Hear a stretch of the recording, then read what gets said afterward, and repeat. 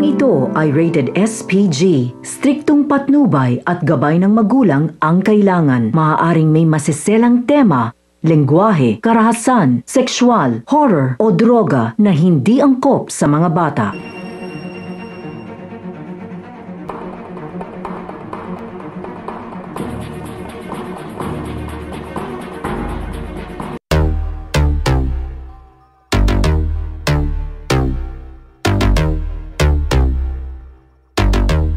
First things first, I'm the realest. realest. Drop this and let the whole world feel it. Let them feel it. Ano ba? Hindi ka ba? Naku, sorry, miss. Monica? Si Nicole to. Bes! Bes, ikaw nga! Ay, naku, Bes. Nagkaasawa ka lang, kinalimutan mo na ako. Naku, Monica, ba't naman kita makakalimutan? Eh, best friend kita. Tsaka, busy ka ba ngayon? Ay, hindi ah. Kaya ako naman siya dito sa mall. Naku, sama ka na sa amin ni Adrian mamaya. Magko-coffee din naman kami. Ay, naku, sure, Bes. Ikwento mo lahat ng mga nangyari sa'yo habang wala ako.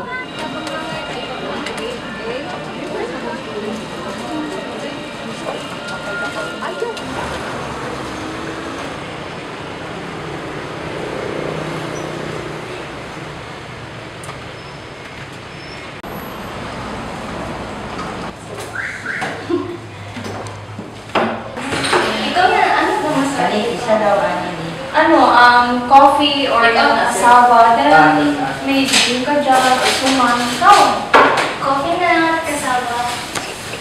Asawa? Sige, um, waiter. Text na yun, papalating na daw. O maya-maya. Mahal! Oh, hey, mahal! Andito ka na pala. Naalala mo si Nicole? Si Nicole? Ah, ikaw ba na yun? I'm Liam. Nicole. Here's your order, ma'am. Thank you. Alam mo, Bes, sa, sa tingin ko, paano na para mahanap natin yung love of your life eh? Hmm, yan, tama. Ihanap ka kaya namin ni Adrian ng blind date? Pwede. Blind date? Oo! Ano ka ba, Monica? Hindi yan nakakatuwa. Alam mo, paano ba naman sila di magkakagusto sa'yo? Ikaw pa, sexy, maganda, matalino, di ba? Strong pa. Ay, naku, wag na, Monica. Sino bang lalaki hindi makagusto sa'yo? Ay, naku, wag na, no. Ako, Nicole, di ka naman namin hahanapan na hindi mo magugustuhan ah. O sige, alam ko naman ang mga taste nyo. May tiwala ako sa mga taste nyo. Alam mo, masarap din ito. Gusto mo? Masarap to, Adrian. Tikman mo yung cake ko. Hmm, masarap nga. So, ano gusto mo? Yung cake ko o yung iba dyan na cake na mas masarap habang tumatagal? Mahal, tinanggap ko na pala ang trabaho na inalok ni Papa sa kumpanya. Ano? Bakit ngayon mo lang sinabi? Tinanggap mo na pala? Mahal, di mo naman kailangan magalit. So, Monica naman, ano ba ako sa'yo? Asawa mo ko, tandaan mo yan. Mahal, para na ito sa kinabukasan ng anak natin. Para sa kinabukasan niya. Baka kung ano naman isipin ng tatay mo sa akin. Iniisip niya na hindi ko kayo kayang buhayin mag-ina. Mahal, sandali lang. Let's go. I wanna go to Ibiza. Let's go. I wanna go to Argentina. Let's go. Yeah, I wanna go and dance, d- d- dance. I wanna dance in Paris, France. Let's go. I wanna go around the world. Let's go. And party with the girls. Let's go. And when I get there, Adrian, when I get there, ba't ka na dito? when I'm there, I wanna Nag-away ba kayo ng asawa mo kaya ka naglalasing? Wala yun. Pagpintang pumunta. Adrian, pwede mo ito maging kakampi. Hindi na nga magising ka na. Hindi ka kita.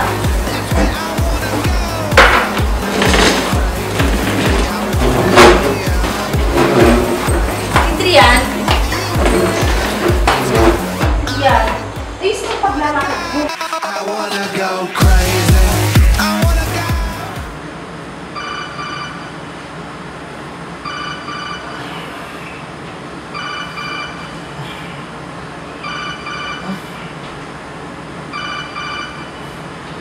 Pwede to. Adrian, saan ka pupunta? Ganun na lang ba yun? Iiwanan mo na lang ako ng basta-basta na parang walang nangyari? Mahal ko ang asawa ko. Mali itong ginawa natin. Adrian, bumalik ka dito!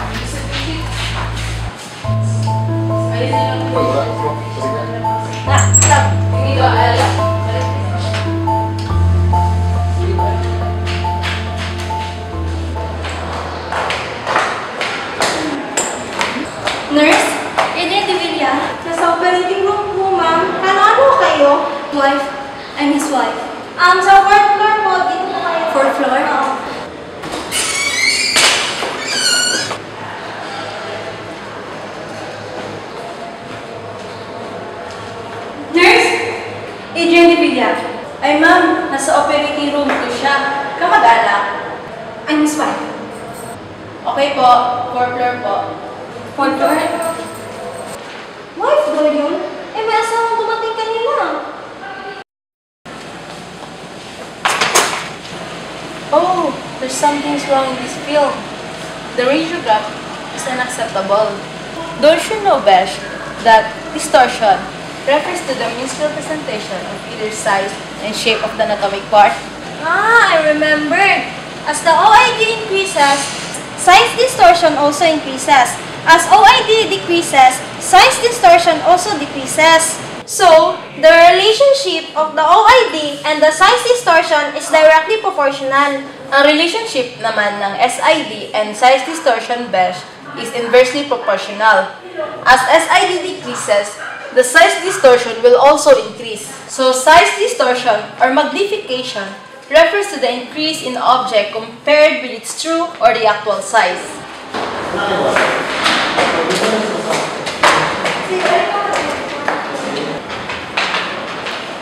Nurse, kamusta mo sa yung niya? Kayo po ba, Mrs.? Oh, Sandali lang po. Dito po, Miss.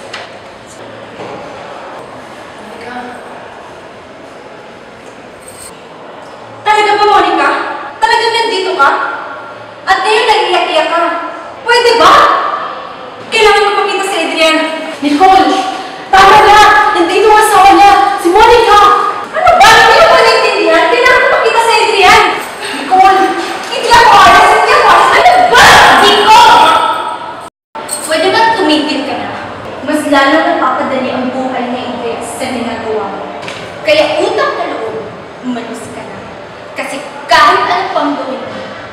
Kahit ano pang sabihin mo, ako pa rin ang legal wife!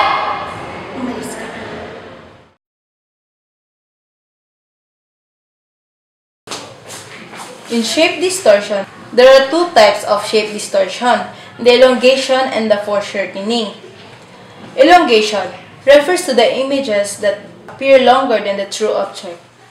It occurs when the X-ray tube and the image receptor is improperly aligned. Foreshortening refers to the images that appear shorter than the true object. It occurs when the anatomic part is improperly aligned. Andito ka na naman, Nicole? Ha? Gusto mo ng gulo? Ha? Sige! Ibibigay ko sa'yo. Gusto mo ng gulo? Ha? Gusto mo ng gulo? Wow! Wow, Monica! Empty words! Hindi ako makikipagsindakan sa'yo. Kaya kung pwede lang, bumalik ka na lang sa boring mong bahay. Hindi mo ba alam? Nag-boring ka! Hindi mo ba matanggap na naging akin siya, ha? Akin siya! Akin siya! Akin siya! Walang sa'yo, Nicole. Akin lang ang asawa ko! Kahit kailan, Monica, hindi naging sa'yo si Adrian. Alam natin pare pareho yan. Kahit pa ikot-ikutin mo man ang mundo, naging akin din si Adrian.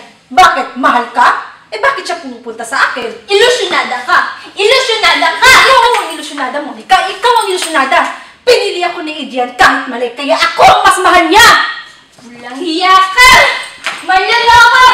Ano walang lolo?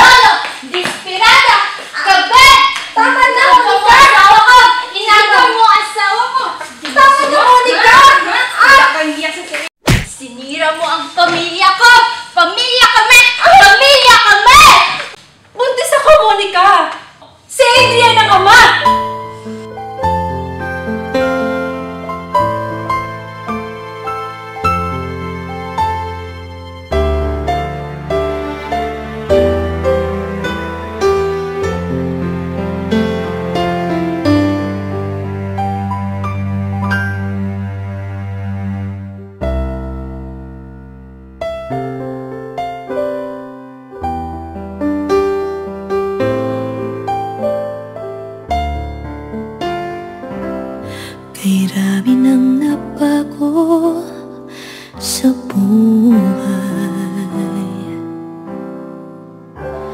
Mula nang tayo'y nagmahalan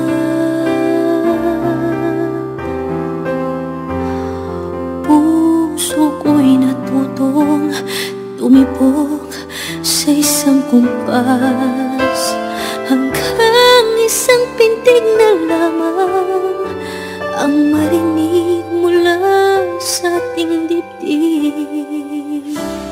Ngunit paraiso na ating narating Ngayon'y naglalaho Tulad ng isang bituin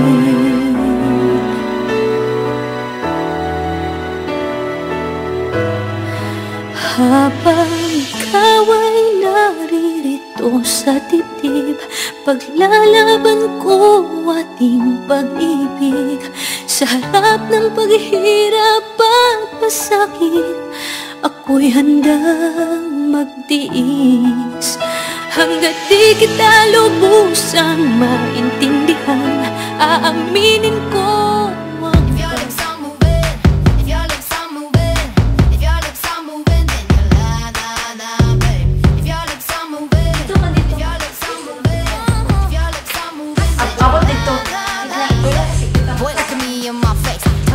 I'm a class. Bobo, di ako mag- Di, katulog siya sa kadua. Katulog siya sa kadua. Go find somebody new. You can Here you buy go. me diamond earrings and Mm. na na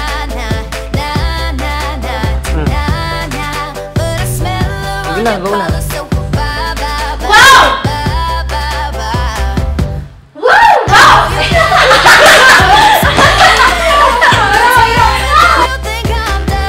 Tulak, isa lang. Hindi lang, hindi lang. Ah, go. Wow! Wow! Empty words, Monica! Hindi ako makikipagsindahan sa'yo. Wow. Wow! Wow! Wow! Wow! Empty words, Monica!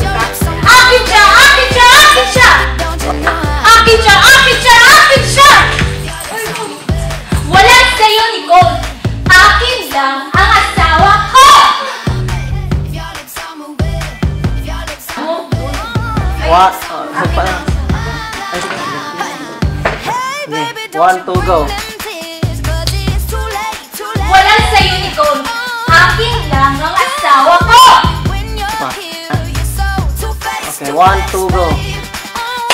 Wala sa'yo, Nicole! Akin lang ang asawa ko! Okay, one, two, go. Wala sa'yo, Nicole! Akin lang ang asawa ko! One, two, go. Sinada ka. Ilusyonada ka! Ilusyonada ka! Ikaw ang ilusyonada! Ah, sige, sige, sige. One, two, go. Hira mo ang pamilya ko! Pamilya kami! Ang pamilya kami! Buntis ako, Monica!